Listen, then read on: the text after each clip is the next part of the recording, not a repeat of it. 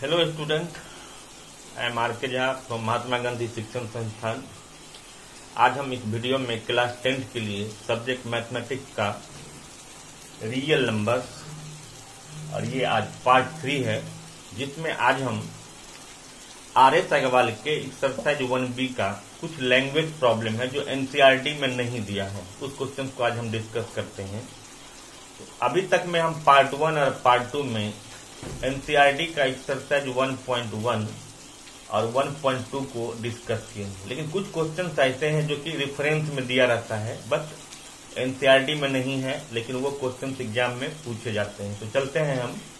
Question number eight से question number twenty four तक इतने क्वेश्चन हैं जो एनसीईआरटी से अलग है। उसको हम पहले पार्ट थ्री के माध्यम से आपको बताते हैं। तो अब इसमें क्वेश्चन देता है कि फाइंड द ग्रेटेस्ट नंबर जैसे कि एग्जांपल ले लो आप क्वेश्चन नंबर एट और एट में दिया है कि find the largest number which divide four thirty eight and six hundred six leaving remainder six in each case ये क्वेश्चन है। मतलब ये हुआ कि कौन बड़ा से बड़ा नंबर है, जिस बड़ा से बड़ा नंबर को अगर हम जिस बड़ा से बड़ा नंबर से 438 और 606 को डिवाइड करेंगे तो दोनों में फिक्स रिमाइंडर बचेगा। क्लियर? तो अब देखिए कि आप जैसे पिछले वीडियो में भी और पहले से भी आप जानते हैं कि एस जिसका फुल फॉर्म होता है हाईएस्ट कॉमन फैक्टर, और एलसीएम, लिस्ट कॉमन मल्टीपल तो बड़ा से बड़ा नंबर हमको पता करना है, जिस नंबर से दोनों को डिवाइड करना है। इट मीन डिवाइजर की बात हो रही है। इसीलिए जब किसी भी क्वेश्चन में डिवाइजर में अगर लार्जेस्ट नंबर होगा तो आप उसमें एस निकालोगे। पहले ये पता करना है, ठीक है? अगर रिमाइंडर सिक्स दिया है इन इच केस में तो आप पहले क्या करोगे? एक बात और मैं आपको बता रहा हूँ कि मैं इसको बना नहीं रहा, बस आपको मैं समझा रहा हूँ, आप खुद बनाओगे इसको। तो अगर six remainder in each case है तो आप इसमें से सिक्स को माइनस कर दो। फोर थर्टी एट में से कितने बचेंगे? 432 क्लियर और 606 में से भी 6 को माइनस करो तो ये 600 ये दो नंबर आपके पास आ गया। तो जब लार्जेस्ट नंबर में रिमाइंडर होगा, और सिक्स या कोई भी नंबर इन ईच केस में होगा तो दोनों गिवन नंबर में से उस रिमाइंडर को माइनस कर लोगे। और माइनस करने के बाद जो बचेंगे, उसका फिर आप एस निकाल दोगे। मतलब अब हम 432 और 600 का एस निकाल देंगे और इस दोनों का जो एस आएगा, वही रिक्वायर्ड लार्जेस्ट नंबर हो जाएगा. क्लियर अब इसी में क्वेश्चन नाइन दे दे अगर मान लीजिए, अब नाइन इसी में हम समझते हैं कि अब देगा कि फिर बड़ा से बड़ा नंबर निकालना लार्जेस्ट नंबर निकालना है। जिस लार्जेस्ट नंबर से इस दोनों को डिवाइड करते हैं तो remainder six and eight respectively दे दिया। अब क्वेश्चन में आंसर समझो कि पहले एक रिमाइंडर था इन ईच केस में था। अब दो नंबर है, दो रिमाइंडर है। रिस्पेक्टिवली लिखा हुआ है। तो सिंपल है इसमें से आप क्या किए? सिक्स को माइनस कर लो। और दूसरे नंबर में से सिक्स नहीं। एट को माइनस कर लेंगे तो अब ये फाइव हंड्रेड नाइन्टी एट आ गया। सपोज़ करो। अब इस दोनों को अगर हम सॉल्व कर लें तो फिर इसके बाद दोनों का जो एस आएगा, वही रिक्वायर्ड लार्जेस्ट नंबर होगा। क्लियर तो आप जब एट और नाइन को देखोगे, इस बात को समझ के सुन के फिर आप एट और नाइन बना सकते हो। क्लियर अब चलते हैं। क्वेश्चन नंबर टेन में है। अब टेन जो है, वो लिस्ट नंबर पर दे दिया। और एलसीएम का फुल फॉर्म क्या होता है? लिस्ट कॉमन मल्टीपल्स अब दिया है क्वेश्चन टेन में find the least number which when divided by thirty five thirty six and ninety one मतलब कोई छोटा से छोटा नंबर है।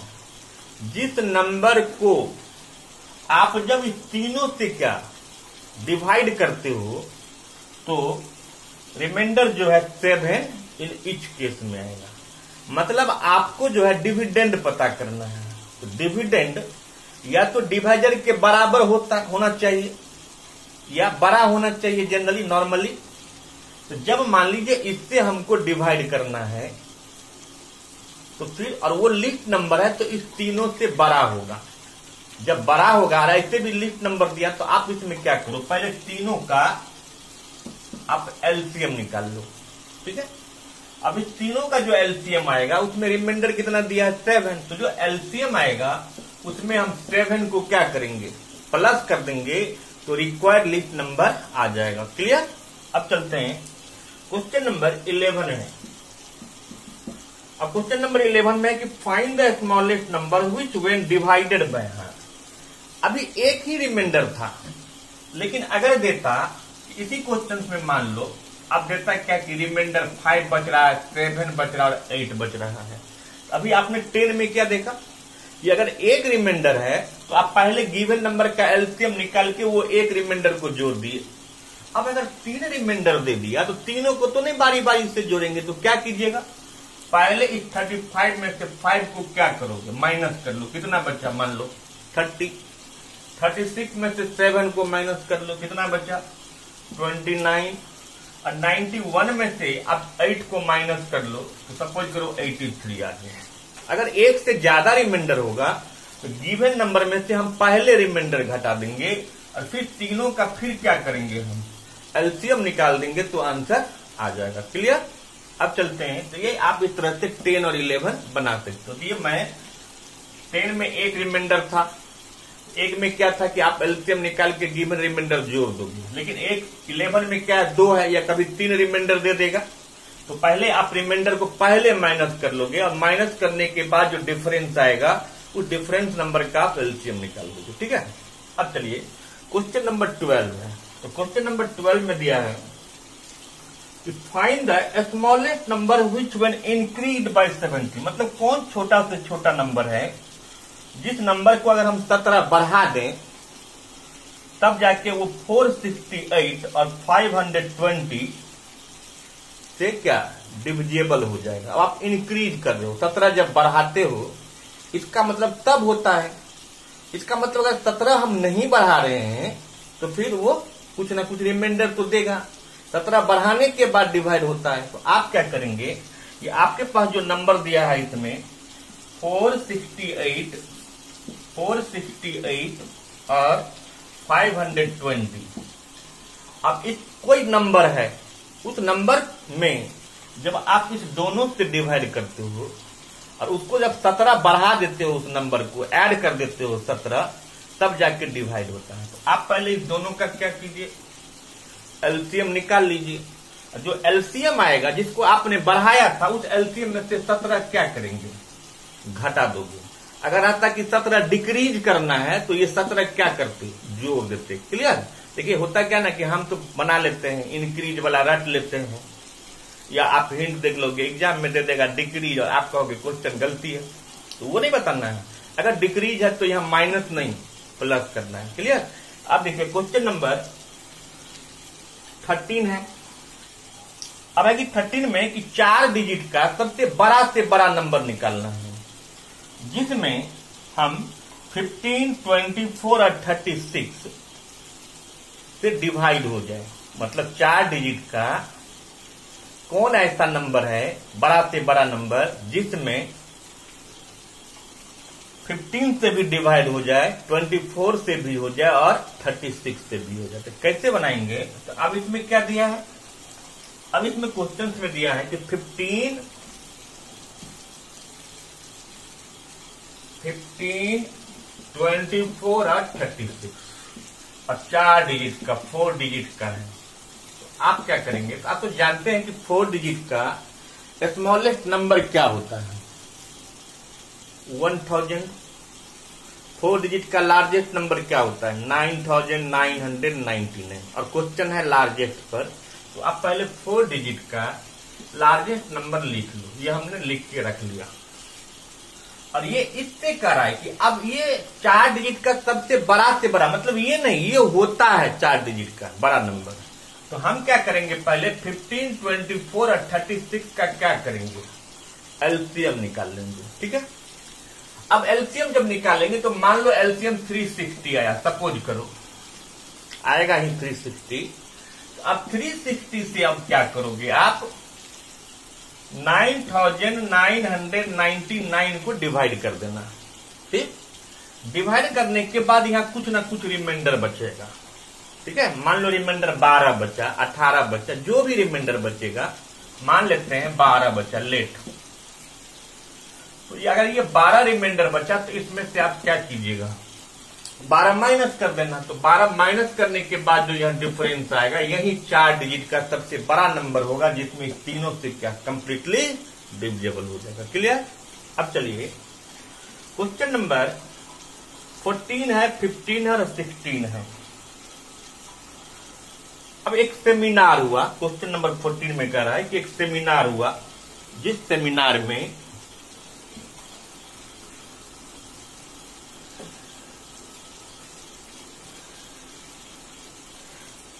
जो ना हिंदी के, इंग्लिश के और मैथमेटिक्स के पार्टिसिपेंट थे। अब ध्यान दो, हिंदी है, इंग्लिश है और मैथ का पार्टिसिपेंट है। सेमिनार मिलेगा, जहाँ हिंदी में सपोज़ कीजिए कि 60 पार्टिसिपेंट हैं। इंग्लिश में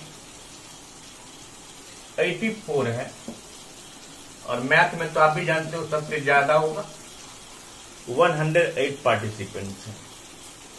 तो कह रहा है कि find the minimum number of room कितने रूम की ज़रूरत पड़ेगी ताकि सारे रूम में नंबर ऑफ़ पार्टिसिपेंट्स क्या बराबर बराबर हो जाए। क्लियर तो आप क्या करो इस तीनों का पहले क्या करेंगे हम? एस निकाल देना।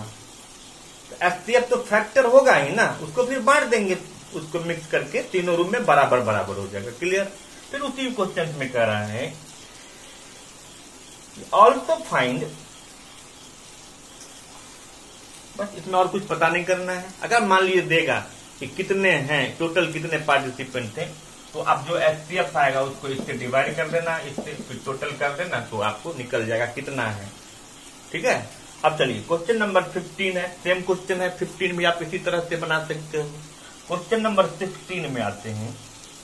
अब दिया है कि मेरे पास तीन टिम्बर है। टिम्बर का मतलब होता है लकड़ी का लॉग, टुकड़ा, जो एक 42 मीटर का है, एक 49 मीटर का है, और एक 63 मीटर का है। उसको हम चाहते हैं कि सेम लेंथ का बराबर बराबर टुकड़ा बनाए। तो सबसे ग्रेटेस्ट लेंथ क्या होना चाहिए और कितने प्लैंक बनेंगे? इसमें नंबर ऑफ़ प्लैंक भी निकालना है और एक प्लैंक का सबसे बड़ा लेंथ क्या होगा? तो आप पहले तीनों का क्या करोगे? एसपीएफ निकाल देना। तो मान लो एस एसपीएफ सेवन आ गया तो हम कहेंगे, ये जो प्लैंक बनेगा, उसका ग्रेटेस्ट लेंथ मैक्सिमम लेंथ सात मीटर होना चाहिए। क्लियर अब कितने प्लैंक बना? तो इसको सात से डिवाइड करोगे तो सात छक्के बयालीस। छह प्लैंक यहाँ तैयार हो जाएगा। इसको सात से डिवाइड करोगे तो सात सत्ते उनचास, सात प्लैंक इसमें तैयार हो जाएगा। इसको सात से डिवाइड करोगे तो सात नंबर तिरसठ तीनों को जोड़ दो तो छह, सात, तेरह, नौ बाईस, यानी बाईस गो प्लैंक तैयार हो जाएगा। क्लियर तो आप इस तरह से इसको बना सकते हो। फिर इसी तरह से आप तो किसी भी क्वेश्चन में ग्रेटेस्ट अगर दे देगा तो आप उसका एस निकाल दोगे। इस तरह से आप इसका क्वेश्चन नंबर सेवनटीन भी बना सकते हो। सेम क्वेश्चन दिया आपको क्वेश्चन नंबर एटीन में भी। फिर है क्वेश्चन नंबर ट्वेंटी भी सेम क्वेश्चन है. फिर क्वेश्चन नंबर पहले अब हम तो आप इस तरह से इसका ट्वेंटी तक बना सकते हो, जिसमें नाइनटीन कुछ अलग क्वेश्चन है। तो फिर हम पहले अब नाइनटीन को समझेंगे। अगर नाइनटीन समझ लेंगे तो क्वेश्चन ट्वेंटी तक आपका क्लियर हो जाएगा। तो चलिए पहले क्वेश्चन नाइनटीन को समझते हैं। तो नाइनटीन में दिया है कि find the least number of square tiles required to pave the ceiling of a room 15 metre 17 cm long मतलब उसका लेंथ जो है वो 15 मीटर 17 सीएम है। और ब्रिथ जो है, वो दिया है आपको 9 मीटर 2 सेंटीमीटर है।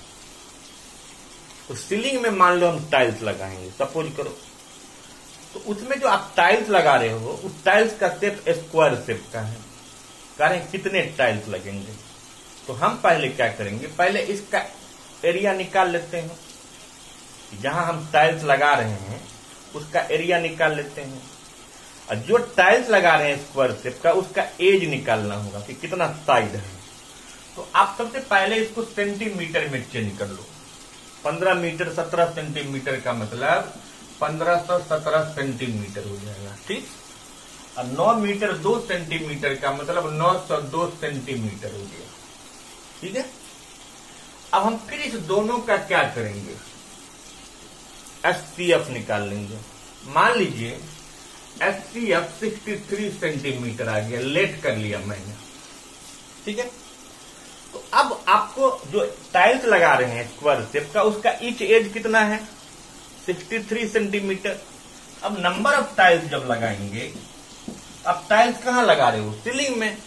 और सीलिंग रेक्टेंगल शेप का है तो आप दे दो एरिया ऑफ़ सीलिंग बट्टा एरिया ऑफ़ स्क्वायर टाइल्स ये लिख देंगे, ठीक?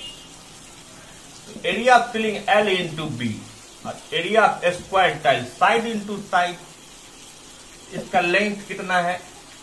15 17 सीएम ब्रिथ कितना है? 902 सीएम और जो आप टाइल्स लगा रहे हो स्क्वायर शेप का, उसका साइड कितना है? 63 cm into sixty three cm इसको सॉल्व कर लेंगे ना? तो सॉल्व करके जो आएगा वही नंबर ऑफ़ स्क्वायर टाइल्स हो जाएगा. क्लियर अब चलते हैं. अब क्वेश्चन नंबर 21 है 22 है 23 है, ये सेम कंसेप्ट पर है. अब देखो, जैसे कोई इलेक्ट्रिक डिवाइस है वो पहला एक बीप होता है बीपिंग साउंड होता है। तो पहला बीप जो है, वो 60 सेकेंड्स के बाद है, होता है। फिर उसके बाद बासठ सेकेंड के बाद होता है। अब कह कि अगला कब होगा? जब पहला साठ सेकेंड के बाद हुआ, दूसरा बासठ सेकेंड के बाद हुआ तो फिर अगला जो होगा, वो बासठ सेकेंड से पहले होगा कि बाद होगा? बाद होगा। तो जब बाद की बात होगी तो आप इसका क्या करोगे? एल्सियम निकाल लो। तो जो एल्सियम आएगा, उतना सेकंड के बाद वो होगा। क्लियर अब कहीं क्वेश्चन देगा रेड लाइट है। अगर हम कहीं निकलते हैं पहला रेड लाइट जलता है दस मिनट पर, अगला बारह मिनट पर और फिर अगला चौदह मिनट पर। अब अगला कितना जलेगा? इसके बाद ही ना जलेगा। तो क्या निकालना होगा फिर? फिर एलसीएम निकाल दोगे तो बन जाएगा। इसी क्वेश्चन में देगा कि हम घर से दस बजे चले या आठ बजे सुबह में चले। अब आठ बजे सुबह में चले तो चलने के बाद जो है ना, आठ बजे के दस मिनट के बाद पहला रेड लाइट जला। उसका फिर बारह मिनट के बाद जला, चौदह मिनट के बाद जला तो कितने बजे अब अगला लाइट जलेगा तो हमने इसका एल्सियम निकाल लिया। तो मान लो इसका एल्सियम बहत्तर मिनट मिला, सपोज़, लेट कर लिए। तो बहत्तर मिनट को आप आवर और सेकंड में चेंज कर दो। तो बहत्तर मिनट का मतलब क्या हो गया? साठ मिनट का मतलब एक मिनट सॉरी वन आवर बारह मिनट। आप घर से कितने बजे चले थे? आपके घर से निकलने के एक घंटा बारह मिनट के बाद लाइट जलेगा। इसका मतलब आठ बजे में एक घंटा बारह मिनट जोड़ोगे तो कितना टाइम होता होगा? नौ बज के बारह मिनट। इसका मतलब नौ बज के बारह मिनट पर वो जलेगा। इसी में अगर सेकेंड और आता पाँच सेकेंड तो आप करते नौ बज के बारह मिनट, पाँच सेकेंड पर वो अगला लाइट जलेगा। क्लियर तो आप इसको देखोगे तो आपको आर एस अग्रवाल का जो है ना लैंग्वेज प्रॉब्लम बन जाएगा। फिर हम अगले वीडियो में और क्वेश्चन लेके आएँगे। तब तक ये चैप्टर बहुत बात इसमें समझना है। थोड़ा सा इम्पोर्टेंट चैप्टर है। तो फिर थैंक यू